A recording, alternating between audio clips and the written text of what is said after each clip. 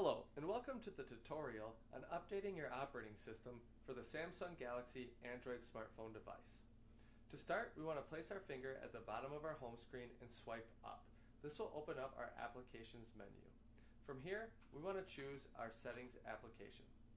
Once selected, our Settings menu will appear.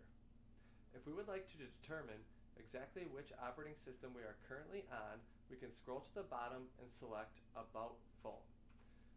Once we select About Phone, the About Phone menu will appear. We can then click on Software Information. And this screen will show us exactly which software version we're currently utilizing.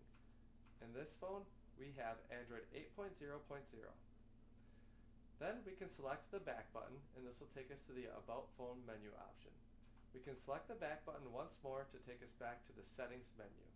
From here we can finally update our software by migrating down to the Software Update option.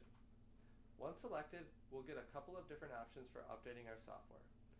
We'll choose Download Updates manually as we'd like to perform this update right now. Next, your device will start checking for updates. If your device has an update available, it will automatically start to download for you. As you can see, there's a status bar that indicates how far along in the update your device currently is. We'll fast forward to the end of this download to show you the next steps in the update process. Once your status bar completes, it will take you to the installation screen where you will have a couple of different options. We can install this update later, we can install this update overnight, or we can install this update now. We'll choose the install now option. Next, your device will prepare to update. Once it finishes preparing, your device will go to the installation screen. And once your installation completes, your device will automatically restart and your operating system will be updated. Thank you and have a great day.